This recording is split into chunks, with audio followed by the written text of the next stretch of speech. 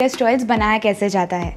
सबसे पहले अच्छे क्वालिटी के साफ़ बीज लिए जाते हैं देन उन्हें लकड़ी घाने में डाला जाता है, जहाँ पे प्रेशर की वजह से वो सीड्स क्रश हो जाते हैं और उनमें से ऑयल निकल जाता है। इस तरीके से करीब करीब 80 टू 85 परसेंट तेल निकल जाता है, बाकी जो 15 टू 20 परसेंट सॉलिड्स बच जाते हैं, जिसे हम ऑयल केक या खली के नाम से भी जानते हैं, वो हम पशुओं को दे देते हैं। इस तरीके का फ़ायदा हमें भी होता है और पशुओं के लिए भी होता है।